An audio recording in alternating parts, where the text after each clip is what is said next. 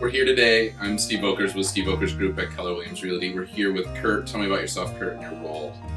Uh, Kurt Suidinski, work for Eastbrook Homes, uh, sales and business development, mainly on the south uh, west side of uh, Grand Rapids. Well, I'm a real estate agent, right, with Yes. Keller Williams. How how is the involvement between us? What does that look like when a when a client engages you or engages me? Um, you know, do you enjoy working with real estate agents? How do how do how do we engage each other and work together to help a client?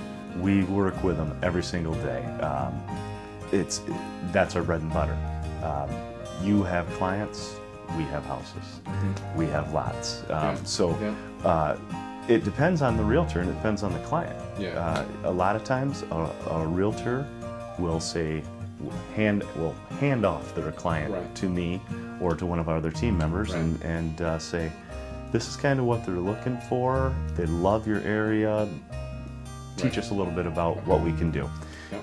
Or the realtor really wants to stay involved with it. Um, You're up for either one. up for either one. Okay. More most important thing is is that we take care of your client, Yeah.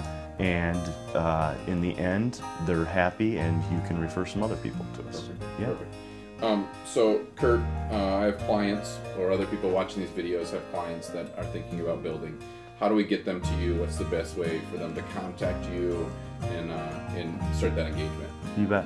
Um, a couple ways. Uh, our Eastbrook website, you can go through there. It's a good way to start, look at some plans, come to one of our communities.